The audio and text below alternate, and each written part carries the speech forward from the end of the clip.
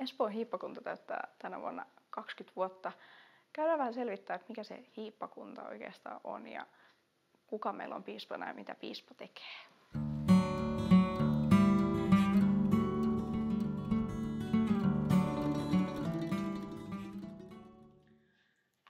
Mä oon tällä hetkellä tuomiokapitulissa ja mä oon päässyt meidän piispan huoneeseen käymään.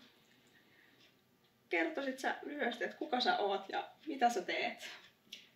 Mä oon Kaisa ja mä oon Espoon hiippakunnan piispa ollut viisi ja puoli vuotta näissä hommissa. Joo. Sä oot yksi Suomen kymmenestä piispasta. Mitä piispan työhön kuuluu, mitä piispa tekee ja mihin piispaa tarvitaan? No, yksi mun kollega kerran sanoi, että piispan tehtävä on huolehtia siitä, että kirkko pysyy ajassa, sanassa ja kasassa. Niin se oikeastaan aika hyvin tiivistää sen. Se oikeastaan tarkoittaa, että se sanassa pysyminen on sitä, että kirkko muistaa sen, ja mun vastuulla on tietysti just tämä Espoon hiippakunnan alueella. Mm. Että kirkko tekee sitä, mikä sen tehtävä tässä maailmassa on. Julistaa hyvää sanomaa ja kertoo ihmisille Jumalan rakkaudesta sanoin ja teoin. Ja sitten se, että se pysyy ajassa, niin tarkoittaa sitä, että se täytyy niin kuin se kaikki asia, kaikki mitä me tehdään, niin täytyy jotenkin liittyä ihmisten elämään. Se on ihan mm. oikeasti relevanttia ja me tiedetään, mitä kysymyksiä ihmisillä on ja kysellään niitä yhdessä. Ja se kasassa on sitten taas se, että kirkko, kirkko on kokonaan. Kirkko on niin ihan perus olemassaoloon kuuluu se, että se on niin kuin yhtenäinen. Vaikka me oltaisiin kovin monenlaisia ihmisiä, me oltaisiin monista kysymyksistä tosi eri mieltä, ihan siis mm. niin semmoista ydinkysymyksistäkin eri mieltä. Ja me kuitenkin kuulutaan kaikki yhteen, koska me ollaan kaikki Kristuksen seuraajia. Ja sitä varten pitää pysyä kasassa. Ja näistä kolmesta asiasta, kun mä huolehdin, niin sitten, sitten mä ehkä jollain tavalla on tehnyt sen, mitä mun pitääkin tehdä. Yes. Mikä sua piispan työssä innostaa ja kiinnostaa? Onko jotain, mikä sua erityisen paljon ärsyttää siinä työssä? No, mulle niin kuin, mä tykkään siitä, että tässä ei ole kahta samanlaista päivää. Mulle se sopii tosi hyvin.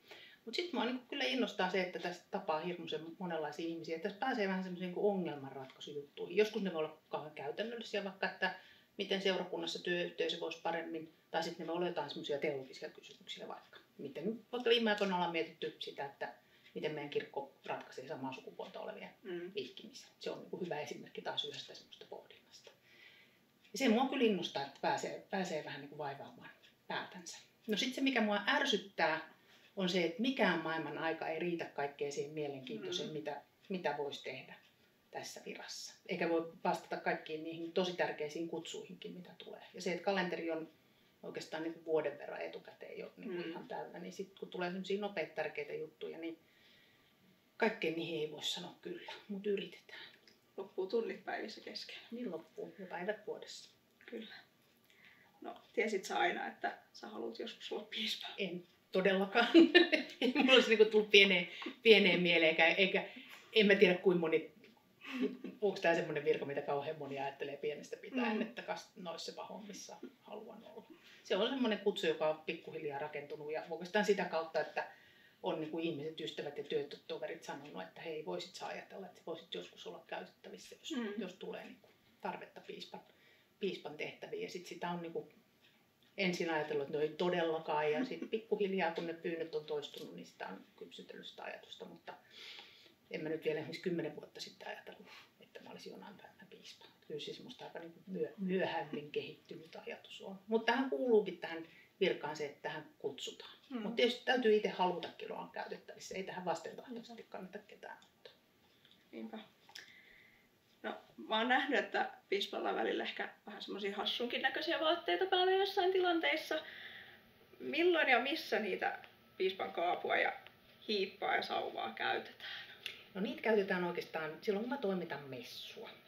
Ja sitä sauvaa mä saan käyttää ainoastaan täällä omassa hiippakunnassa. Sitä mä en vie koskaan oman hiippakunnan rajojen ulkopuolelle. Sitten kun mä menen vaikka Mikkelin hiippakuntaan, niin siellä on sitten taas piispa Marilla on, on siellä sen hiippakunnan mm. sauva. Arkkipiispa saa kuljetella omaa sauvansa yli, yli niin kuin hiippakuntarajojen täällä Suomessa. Mutta hiippaa ja kaapua käytetään sitten niin kuin silloin, kun mä vietän messua. Silloin, kun mä vihin uusia pappeja, mm. silloin, kun mä asetan kirkkoherroja virkaan, tai silloin, kun mä vietän muuten muuten jostain syystä messua jossakin, pääsääntöisesti täällä oman hiippakunnan kirkossa. Tuleeko siinä ikinä kuuma tai se on kuitenkin aika iso. tosi kuuma. Silloin kun oli pandemia-aika, kun mulla oli päässä saatto, jos toimitti messua, niin kun kaikki striimattiin, niin oli vielä yleensä joku langaton mikki. Niin sitten oli päässä silmälasit ja oli maski ja se mikki ja sitten hiippa. Ja sitten varsinkin kun sitä hiippaa, sitä ei pidetä koko messun ajan päässä, vaan se aina välillä otetaan pois. Niin sitten aina muistaa, että missä järjestyksessä mä oon kaiken sen laittanut päähän, että mä otan väärässä järjestyksessä niitä pois. Niin kyllä, kyllä siinä tulee. Ja sen kaavun alla on Alba, se valkoinen Jumalanpalveluksen pa- Mhm. toimittajan puku, ja sen alla mun saattaa olla vielä villainen papin puku, niin kyllä joskus kesähelteellä hiki valuu selkään. Varmasti. Kiitos näistä. Kiitos.